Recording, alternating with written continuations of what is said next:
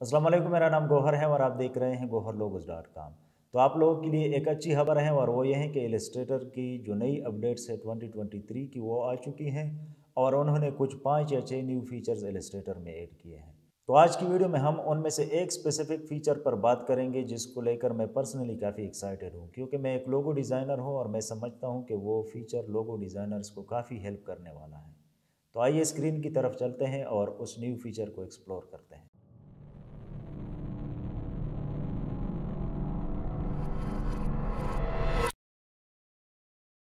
तो आप यहाँ पर देख सकते हैं कि मैंने ओलंपिक का जो फ़ेमस लोगो है, जिसको दी ओलंपिक रैंक्स कहा जाता है, उसको यहाँ पर रखा हुआ है। क्योंकि ये जो नई अपडेट आई है इलस्ट्रेटर की, या ये जो नया फीचर इसमें ऐड हुआ है, ये बेसिकली इस किस्म के शेप्स इस किस्म के ओवरलैपिंग शेप्स क्रिएट करने के लिए ऐड हुआ है। तो मैं उस फीचर को यूज़ करके आप लोगों को ये ओलंपिक का जो लोगो है, वो रिडिज़ाइन करके दिखाऊँगा।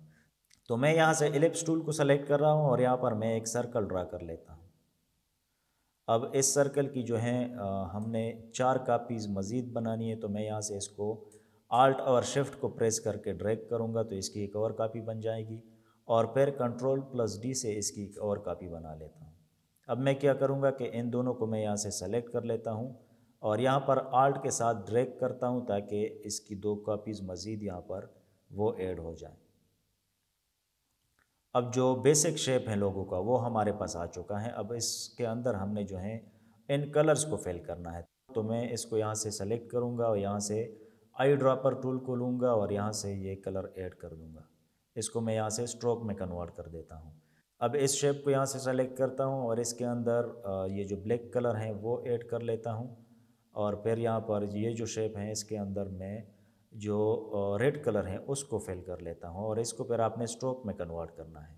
अब ये नीचे आ जाए तो इसको मैंने जो है यहाँ से ये जो येलो कलर है वो दे देना है और इसके बाद ये जो लास्ट वन है, इसको मैं यहाँ से ये जो ग्रीन कलर है वो यहाँ पर ऐड कर रहा हूँ।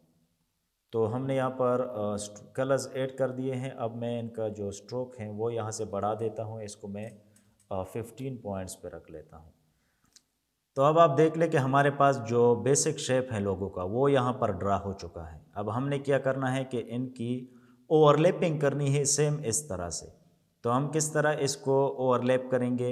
इसके लिए जो हमारे पास पुराना तरीका था, उसमें हम ये करते थे कि हम इन शेप्स को एक्सपेंड कर देते थे। मैं यहाँ पर आप लोगों को थोड़ा सा दिखा देता हूँ।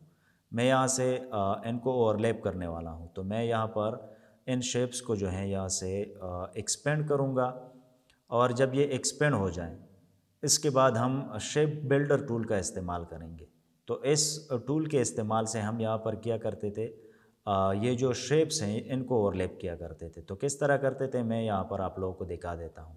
अब फॉर एग्ज़ाम्पल मैं चाहता हूँ कि ये ब्लू जो है ये इस येलो के ऊपर आ जाए। तो मैं यहाँ पर आ जाता हूँ और ये जो शेप बिल्डर टूल है इसके ज़रिए मैं यहाँ पर ये जो शेप्स हैं इनको मिला देता हूँ, इससे ये होता है कि ये अब इसके ऊपर आ गया है। और अगर मैं चाहता हूँ कि यहाँ पर ये जो ब्लैक हैं, ये इस येलो के ऊपर आ जाए तो मैं क्या करूँगा कि यहाँ से इन शेप्स को मैं सेलेक्ट करूँगा और यहाँ पर ये जो ब्लैक हैं, इसके ऊपर मैं शेप बिल्डर टूल से ये इन पाथ्स को ज्वाइन कर दूँगा। जैसे ही मैं यहाँ पर इसको ज्वाइन कर लेता हूँ तो यहाँ से हमारे पास ये इसके ऊपर आ जाता है। तो ये हमारे पास ओवरलैपिंग का जो है पुराना तरीका था जिसके बारे में आप लोग आ, पहले से आई एम श्योर जानते होंगे। तो मैं यहाँ पर आप लोगों को मज़ीद ये समझाना नहीं चाह रहा बल्कि मैं जो नया फ़ीचर हैं अब उसका इस्तेमाल करूँगा। तो मैं यहाँ से इसको सेलेक्ट कर रहा हूँ और यहाँ से ऑब्जेक्ट में जाऊँगा। यहाँ पर एक नया फ़ीचर ऐड हुआ है इंटरट्वाइन के नाम से। तो जैसे ही मैं यहाँ पर मेक पर क्लिक कर लेता हूँ तो अब हमारे पास इस फीचर के ज़रिए से ये फैसिलिटी आ गई हैं कि ये जो प्रोसेस हम मैनुअली कर रहे थे पहले, जो कि काफ़ी टाइम कंज्यूमिंग हुआ करता था, उसको अब इस फीचर के ज़रिए जो है काफ़ी आसान बना दिया गया है। वो किस तरह? आइए मैं आपको दिखाता हूँ। तो मैं इसको जूम कर रहा हूँ और मैं चाहता हूँ कि ये जो ब्लू हैं, यहाँ पर इसके ऊपर आ रहा है। तो मैं इस ब्लू को यहाँ पर इसके ऊपर लेकर आना चाह रहा हूँ। तो मैं सिंपली इस पार्ट को यहाँ से सेलेक्ट करूँगा। जैसे ही मैं सेलेक्ट कर लेता हूँ, ये ब्लू इसके ऊपर आ जाता है। अब यहाँ पर मैं दूसरा आपको दिखाता हूँ। यहाँ पर ये जो ब्लैक हैं, ये येलो के ऊपर आ रहा है। तो मैं यहाँ पर जाऊँगा और यहाँ पर मैं इसके ज़रिए से जो है, यहाँ पर एक शेप वो ड्रा करूँगा। जैसे ही मैं ड्रा कर लेता हूँ तो यहाँ पर ये इसके ऊपर आ जाता है।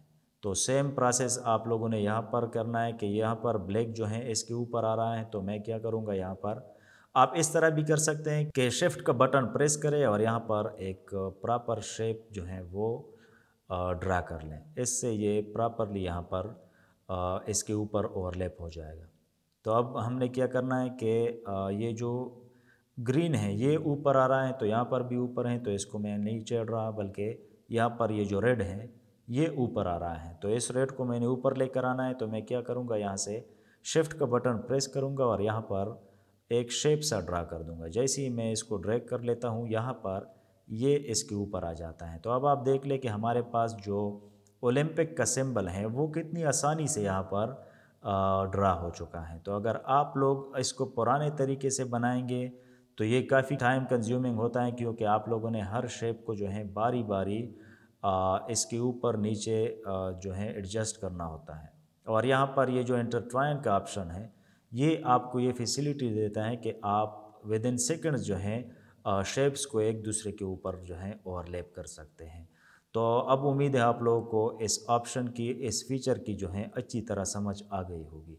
तो उम्मीद है आप लोगों को आज की क्लास पसंद आई होगी। अगर पसंद आई है तो इसको लाइक करें शेयर करें और हाँ अगले हफ़्ते से जो है हम इसी चैनल पर लोगो डिज़ाइन का कोर्स स्टार्ट करने वाले हैं। तो अगर आप लोग उसमें इंटरेस्टेड हैं और लोगो डिज़ाइनिंग सीखना चाहते हैं तो चैनल को सब्सक्राइब करना हरगिज़ मत भूलिए। मिलते हैं अगली वीडियो में। अल्लाह हाफिज़।